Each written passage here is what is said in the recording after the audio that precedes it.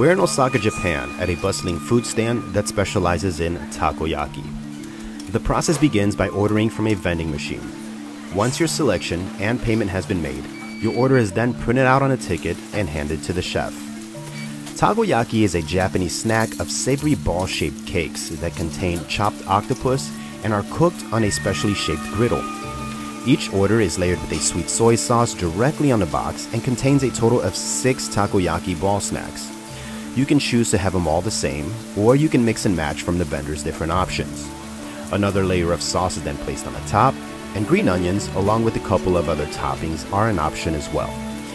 Because of the language barrier, we ended up ordering two six piece orders when we only meant to order two balls. The takoyakis came out great, but they were piping hot, like burn your throat hot. I should definitely have let them cool down before digging in, but with that said, these were by far the best takoyakis I've ever had.